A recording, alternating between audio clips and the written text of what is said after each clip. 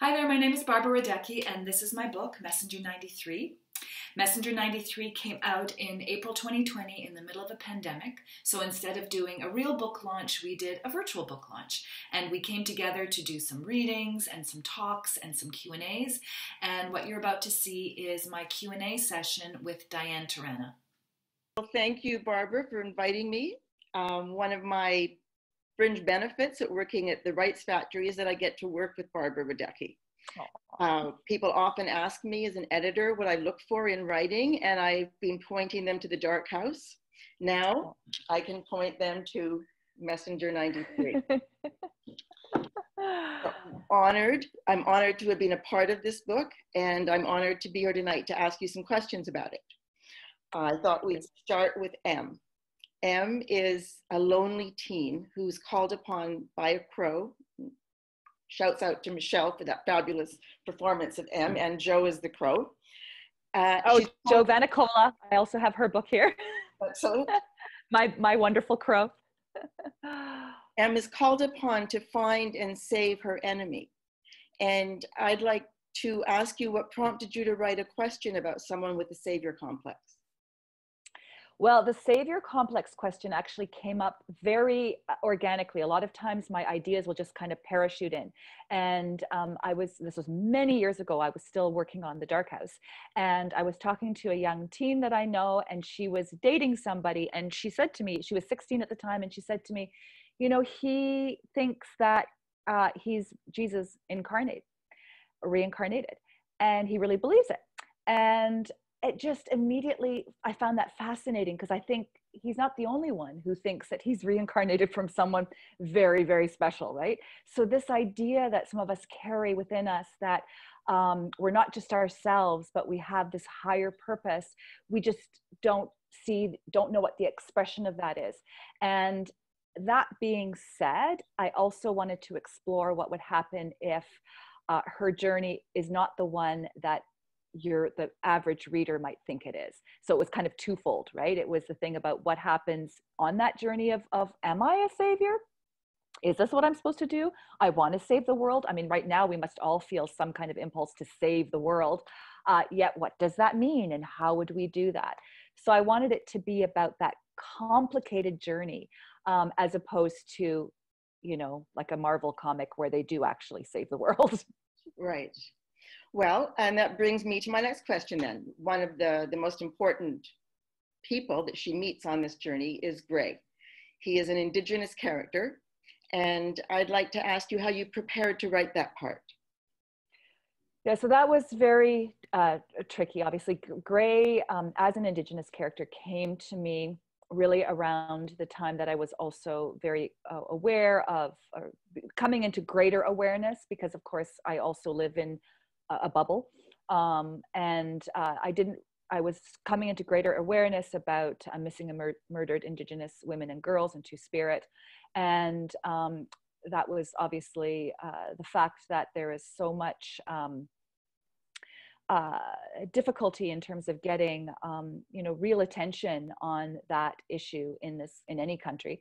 And um, so i was very moved by that and very frustrated by that that and and so he came. And then but as this character came and as this as the story point came that he was also looking for somebody she just she was also an indigenous girl not not uh, a white girl like emma's looking for and then i began to realize that this might be a tricky world to go into because of appropriation of voice. And so um, i began to really investigate uh, what that means to um, to to write outside your cultural identity. And um, at the same time and of course you know got lots of pushback and lots of concerns about that uh, but as a white writer i don't want to have my writing worlds just be white middle class cisgendered uh, you know able bodied like i i my world our world is, very comprehensive, right? And um, so it was like, okay, I had two choices. One, I don't go down that road at all, or one, I figure out if I can do it. And I talked to many, many um, people, friends, and people who became my friends in the meantime. uh, who are Indigenous um, and from various First Nations. And I talked to them about this process, and uh, they uh, gave me a lot of guidance and um, a lot of shared their thoughts. And I have an extensive acknowledgments in my at the end of the book uh, where I talk about that process and where I talk about um, uh, you know things like compensating your your consultants if you're doing that kind of you know asking for that kind of sensitive um, uh, emotional experience and so it I, yeah i decided that i was going to explore what that would be like and and then it became the thing of now i'm walking a line of well where am i allowed like where how, how do i protect those characters from me a white writer how do i protect them and um, and that became a very very extensive process as well Okay, I think everyone can see why I love working with Barbara Radecki, right? These are the fabulous conversations we have as she's writing her book. I will finish with one, one question and then I'll throw it to the fabulous moderator, Sandy, for questions.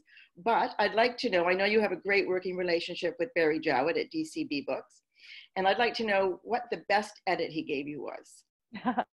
so one of the beautiful things about working with Barry is he's not like an intrusive in your face, like watching every word that you do and telling you what to do. But he asks perfect questions, perfectly timed questions. And, um, and he's very nuanced and delicate with the way he deals with his writers.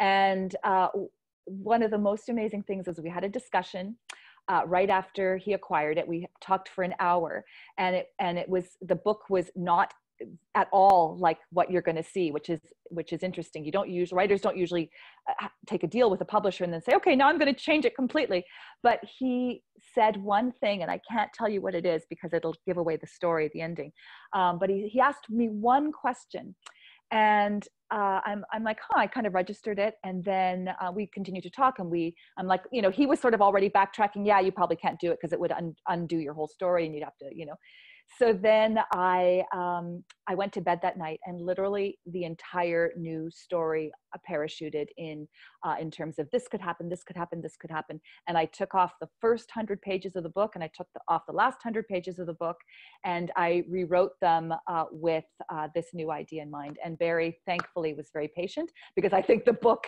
now is actually so much stronger than it was back then. Wow. Well, thank you. This has been fabulous. And, Thank you, uh, take it away, Sandy. So if you'd like to see more from the book launch for Messenger 93, you can go to my YouTube channel and the whole launch is on there. Thank you.